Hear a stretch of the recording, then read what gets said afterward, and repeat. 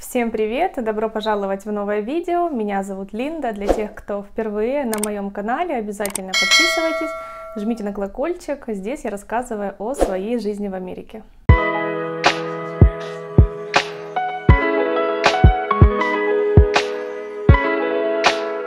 Поделюсь с вами нашими последними новостями. Сегодня мы всей семьей идем на Baby Shower. Это мероприятие, которое организовала наша спонсор для своей малышки. Но это не простая малышка. Их историю я расскажу немного позже. А для начала хочу вам рассказать, как происходит здесь Baby Shower.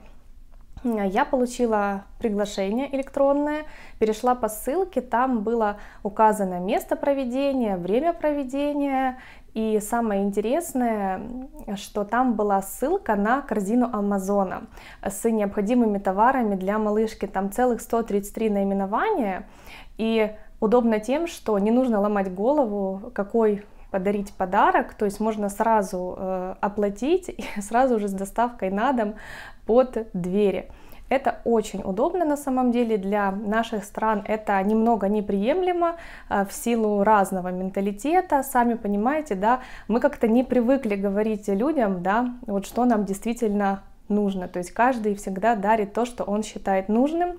И как у нас есть поговорка, даренному коню в зубы не смотрят, да. А здесь все совершенно наоборот, и это абсолютно нормальная практика. Но мы, к сожалению, не знакомы со всеми ее друзьями, чтобы мы могли как-то знаете, между собой обсудить, вот э, кто что из этого списка покупает, но через уже несколько дней, когда я начала просматривать вот эту корзину, некоторые товары, то есть они уже начали как бы исчезать из этого списка, потому что они куплены, они оплачены, и то есть ты уже вообще не ломаешь себе голову. На самом деле это очень-очень удобно и это очень практично. А что выбрала я из этого списка? Это был развивающий коврик э, и одежда потому что я как мама двоих деток прекрасно знаю о том, что одежды много не бывает, тем более в первые месяцы жизни малыша одежда это просто какой-то бесконечный поток стирки, ее нужно вот так вот менять по кругу, что-то вообще выбрасывать, ребенок растет со скоростью света, и вот правда одежда, она никогда не бывает лишней, и я скажу честно, я всегда была рада, когда мне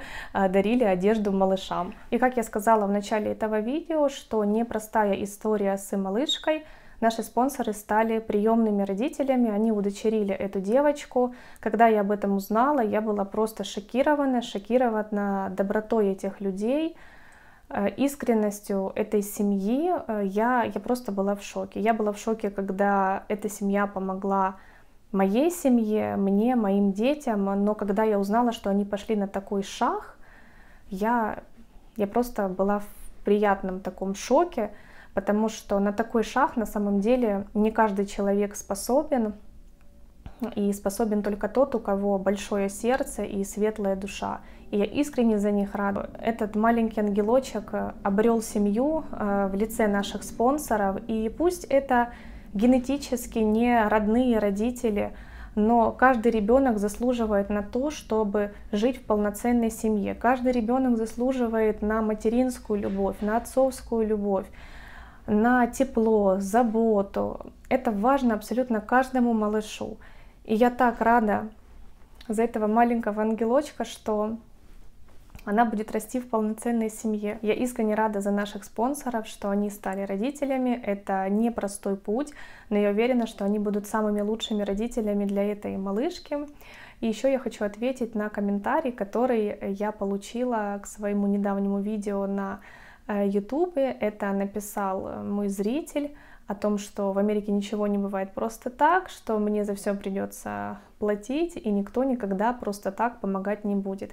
Так вот, что я хочу сказать. А вы представьте, что есть люди, которые добрые, которые открытые, которые честные, которые искренние, люди, которые умеют помогать, люди, которые готовы протянуть руку помощи тому, кто в ней нуждается, люди, которые не имеют гнильцы, люди, которые э, не имеют корыстного подтона в своих действиях, э, в своей помощи. И ключевое, как я уже сказала, люди, которые умеют протянуть руку помощи, потому что не каждый человек на это способен.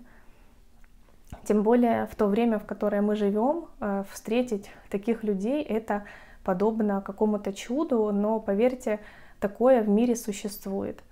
И вот тоже хочу еще поделиться с вами таким моментом, что меня в жизни очень много стало окружать вот именно таких историй, таких людей.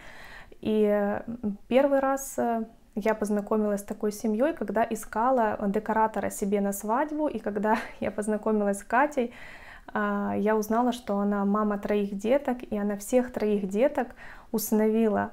Я тогда ей еще сказала при первой нашей встрече, что Катя, ты для меня человек просто с огромнейшим сердцем. Я, правда, я восхищаюсь такими людьми, я просто снимаю а, перед тобой шляпу. Моя коллега по банку, она тоже росла без семьи, она сирота. YouTube подарил мне знакомство с одной э, потрясающей девушкой, которая впоследствии стала моей подругой. Мы очень тесно общаемся. И через определенное время она мне рассказала свою историю о том, что она тоже росла без семьи, ее воспитывала бабушка. И вот наши спонсоры, тоже такая семья, которая пошла на такой вот очень серьезный отчаянный шаг. Я не знаю, делитесь в комментариях, что вы думаете по этому поводу. Мне, правда, будет очень интересно почитать.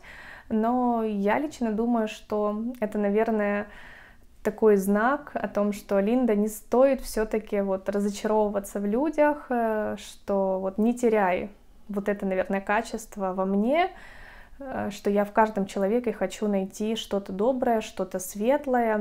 Зачастую, конечно, я разочаровываюсь в таких людях, и у меня в жизни очень много было подобных историй и с дружбой, и с предательством, и были даже такие моменты, когда вот просто у меня было общение только на расстоянии вытянутой руки, но я все равно вот как-то не теряла вот эту надежду, что вот, ну, есть же все-таки какие-то добрые, хорошие э, люди. И вот видите, наверное, вот эти вот все события показывают мне о том, что да, Линда, они все-таки есть, вот не надо, не, не теряй эту надежду.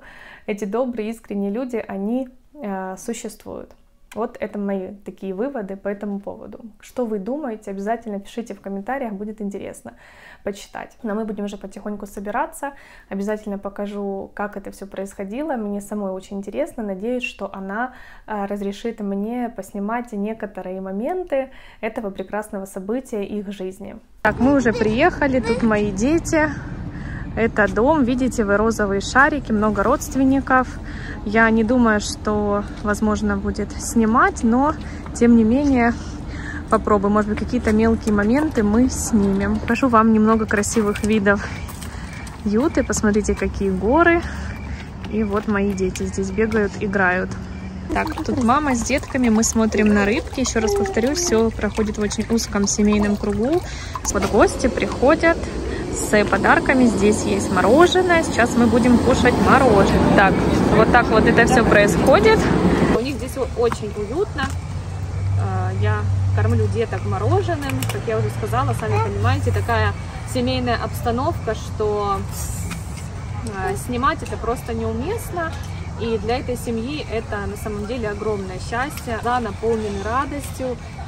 Я так за них счастлива, что они долго шли к этому и пришли наконец-то, что их мечта осуществилась.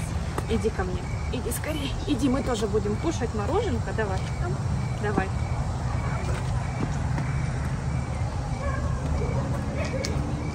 Да, там рыбки.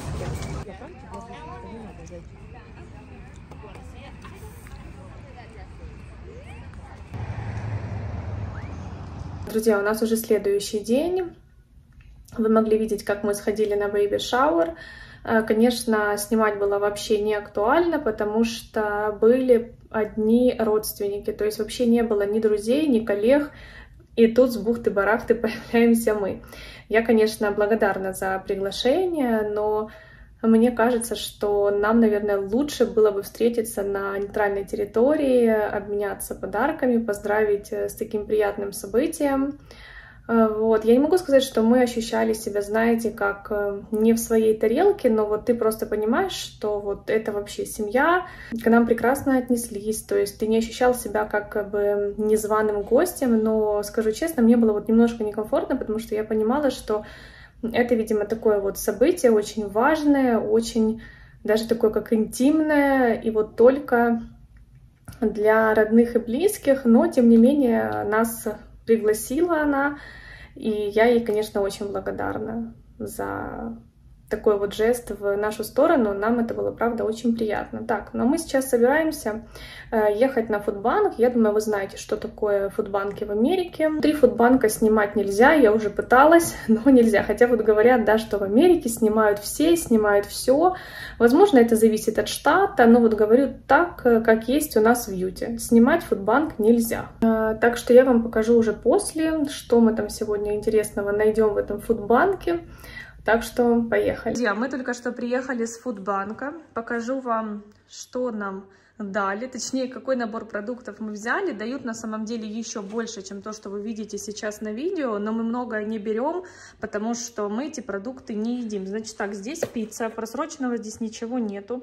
Здесь пицца, бананы. Ну, бананы, конечно, такие уже немножко, немножко уставшие, но, в принципе, на смузи нормально.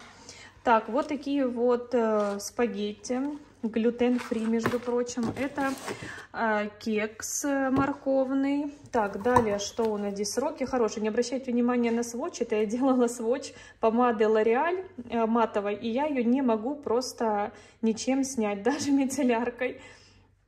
Так, в общем, это у нас пошли консервы. Здесь у нас что? Э, это рыба красная. Так, что это у нас? Это типа тушенки. Ну, не типа, можно сказать, тушенка. Так, молоко. Вообще молоко и яйца это всегда стандартный набор. Э, со сроками тоже все ок. Вот такой вот соус. Потом вот такая вот заправка для пасты. Идет с сыром и острым перцем. Это томатный соус. Я тоже часто готовлю с ним пасту. Здесь тоже как тушенка, только куриная. Потом тунец Рио. Это тоже тушенка. А, картошка. Так, что у нас здесь еще есть интересного? Так, а, Здесь тоже, кстати, со сроками все ок. По-моему, до 26 года. Это, как я поняла, жаропонижающие средства, потому что ацетаминофен – это парацетамол. Так, это у нас тоже все свежее. Вот покажу вам срок, если вы увидите сейчас. Смотрите, до декабря 26 года. То есть со сроками все ок. Э, это у нас тоже получается парацетамол, здесь ацетаминофен. И вот еще перечень от чего это все. Ну, видимо, от мигрени, от заложенности носа. Ну, в общем, сами понимаете. Так, это тоже леденцы при э, боли в горле. И тоже они свежие, вот до 26 э, -го года. Вы не поверите, даже э, мне попался э, тинт от Benefit. Он, кстати, тоже новый и хороший срок. Так, давайте смотреть. Вот как бы такой огромный ящик. Но люди брали два таких ящика, но для нас это too much. Так, вот такие вот конфетки с соленой карамелью. Я буду сюда так немножко отставлять, чтобы не мешало. Два мыла, которые натуральные, и они очень вкусно пахнут апельсином. Э, это э, сахар. Также здесь еще один томатный соус, э, кукуруза, яйца. Вот такой вот набор. Это сливки в кофе. Так, здесь у нас что? Овощи. Здесь лук. Здесь фрукты, по-моему, яблоки. Так, фокусируй. Здесь яблоки и апельсины. И вот здесь вот э, замороженное филе.